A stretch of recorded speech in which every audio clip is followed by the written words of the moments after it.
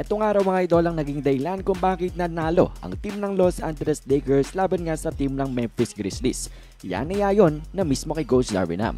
Pero bago natin yan pag-usapan, ito muna nga naging interview ni AD patukol nga sa kanyang injury mga idol sa kanyang ilong pati na rin ang kanyang nasabi sa team ng Lakers. Unahin na natin yung kanyang walk-off interview kung saan sinabi niya na patuloy nga daw na nagdudugo yung ilong niya mga idol pero nilaro niya pa rin daw ito dahil kailangan ng kanyang team ngayon na manalo para nga umangat sa 9 seed. Talaga daw nagagawin niyang lahat para lang matulungan itong Lakers team para manalo nga daw ng basketball games. Nagiging alright nga lang daw siya, magiging okay lang daw siya mga idol. At sakto nga rin daw dahil merong 2 days na pahinga itong team ng Lakers para nga mapagaling pa ni AD ang kanyang ilong. Dinitali niya pa nga na may dalawang cut nga daw sa kanyang ilong mga idol kaya't ayaw daw na tumigil na magdugo.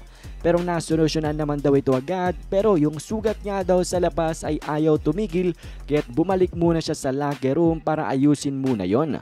Hindi naman daw na kailangan pa ng ibang proseso at kailangan lang mapatigil yung pagdudugo kaya nakabalik din siya agad sa laban. At wala nga daw din dapat na alalahanin ng mga Lakers fans sa kanyang nose injury dahil magiging ready nga daw siya for their next game. At dagdag pa ni AD mga idol matapos nga nilang makuha ang 9th seed na hindi nga daw sila satisfied. Ngayong nasa 9th seed na sila at nasa playoff race. Dagdag ni AD na we want to be greedy. Yan ang kanyang naging payag mga idol. Susubukan nga daw nilang kunin ang mga panalo pa nilang kayang kunin sa kanilang mga next games. Gusto nga rin daw nila na patuloy pang umangat dito sa Western Conference standings. Masaya naman daw siya kahit papano dahil unti-unti na nga na nagagawa ng Lakers ang kanilang mga goal. Pero ayaw nga daw nila na sila sa play-in lamang. Gusto nga daw nila makasecure talaga ng playoff spot. Meaning ang gusto ni AD ay 6 spot and above.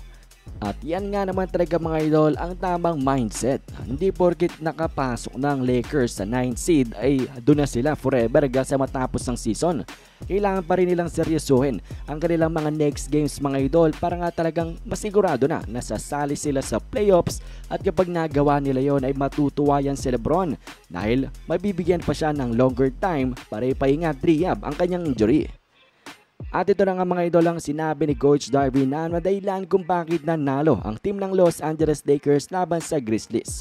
Sabi niya, their defense nga daw was the key sa fourth quarter kung bakit nagwagi ang team ng Lakers laban nga sa Memphis.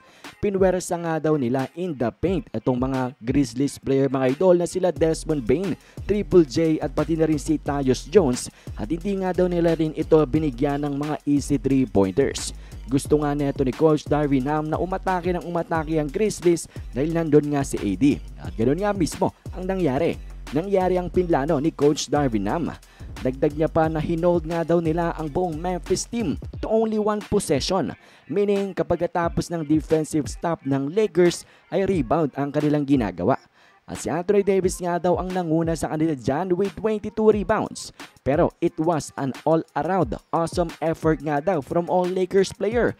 Dahil lahat daw ay sumubok na rumebound at hindi lang basta-bastang bumaba sa depensa. There were multiple guys nga daw na merong 4 plus rebounds sa labang ito. Pinamalas nga rin daw ng team ng Los Angeles Lakers ang three words na lagi niyang sinasabi dito sa mga Lakers player kung saan energy, effort, and urgency. Yan nga mga idol ang sinabi na dahilan ni Coach Sham kung bakit nanalo ang Lakers. And I think kaya rin nanalo ang Lakers mga idol personally sa aking ang na-witness sa laban nila kanina ay dahil nag-step up nga big time ang mga kasama ni Anthony Davis mayroon na siyang big game mga idol at kinakailangan na lang ng iba na mag-step up. And they did step up mga idol lalo na si Troy Brown Jr. na talagang ang nagselyo ng panalo sa team ng Los Angeles Lakers. Etong si Reeves mga idol pati na nga rin si Dennis Schroeder ay meron ding clutch basket. At yan nga mga idol ang mga dahilan kung bakit nanalo ang team ng Lakers ngayon laban sa Grizzlies. Pero kung kayo nga mga idol ang tatanungin, ano sa tingin nyo ang naging dahilan kung bakit nanalo ang team ng Lakers kanina laban sa Grizzlies? Komento nyo lamang yan sa ating comment section.